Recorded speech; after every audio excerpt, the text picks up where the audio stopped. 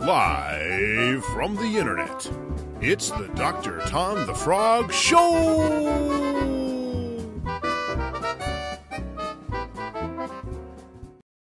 Hi ho, this is Dr. Tom the Frog, and you're watching the Dr. Tom the Frog Show.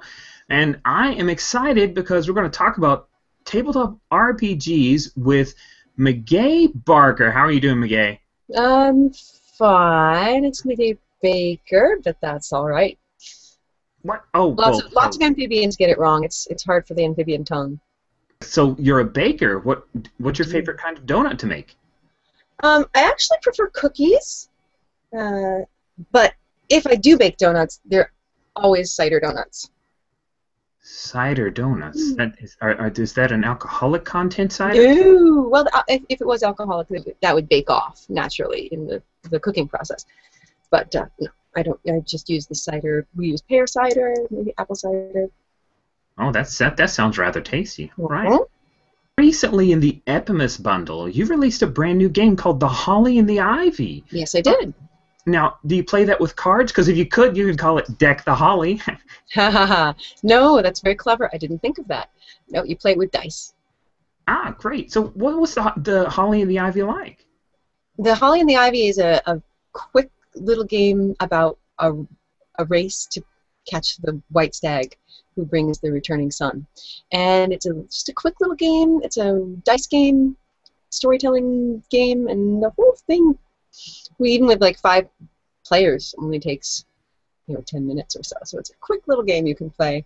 And in the end, whoever wins the game gets to make a wish. Oh, neat. So, what, what did you wish for? I can't tell, otherwise it won't come true. I see. You've, you've definitely got the wishes things down. Uh, so, Meguey, I, I'm, I'm curious. I understand that your entire family designs games. Is that right? That is true. Is it possible for your family to have any fun playing Monopoly?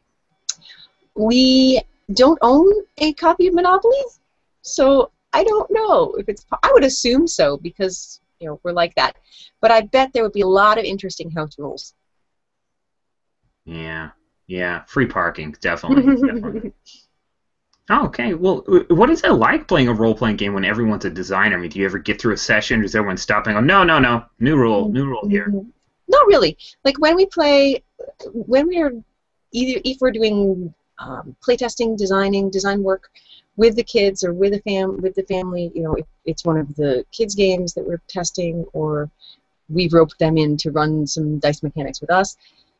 We're all pretty good about sticking through the session or the game cycle to see what it's like, and then at the end to give feedback in a way that's helpful and say, here's what worked, here's what didn't work, what are you looking for here, and how can we help make that happen better, or how could it be more exciting? Um, our oldest son, Sebastian, is really good at this sort of game critique. He's um, been writing games for a long time, designing games for a long time. I mean, he's 18, so I guess you know a little over half his life has been doing game design. Um, and Elliot is our middle son. He has a really sharp eye for some um, like uh, color details of what's going on in um, and the fiction and how to bring that forward and how that translates and intera- interacts with mechanics. And Toby just turned nine, and he's just a rule creating machine because everything's like, well, how about this? What if we do that? And how about we? Do? It's it's really cool. Wow, you know, I've got a few hundred tadpoles myself. I need to farm off some of my mechanics creation to them. Yes, you do. I bet they'll come up with great ideas. Make a note of that, Rogers. All right. Night Sky Games is your is your game imprint. What what have you got coming up soon? Well, right now, Vincent and I are working on freebooting Venus, which I'm not going to talk more about, really, because we're doing design work on that, but that's exciting. And I'm working on, I'm actually toying with other games like Holly and the Ivy. It was so much fun to write and so clear to come through that I'm looking to see if there's more there um, in that sort of short uh, storytelling game that's sort of built around uh, dice game. I think that could be interesting. And I'm also working on a game about what happens when a place is abandoned. And this is a game that our youngest son is intimately involved with the design, the rules of that, because it came, the inspiration for this game called Gone came from uh, playing pretend with him when he's like, okay, here's the rules, and we make the map, and we do this, and then this happens. And I was like, this is awesome, and I have to make this into a game. So that's the things that I'm working on right now. Wow, you have so many. It's like you're a baker. You have so many things in the oven. It's true. Goes with the territory. Can't help it. All right, now we're gonna come back. I'm going to hop back around to the serious question. All right, are you ready, Meguey? I am. So I understand that it's a little cold here. I actually hopped south for the winter, but You Uh, are a lucky frog. I'm a doctor. I planned ahead. Yeah, there you go.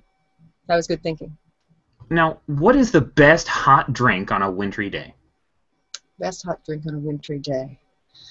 I don't know. I drink a lot of tea this time of year. Like as soon as the heat kicks on, it's it's tea, uh, more tea, and lots more tea.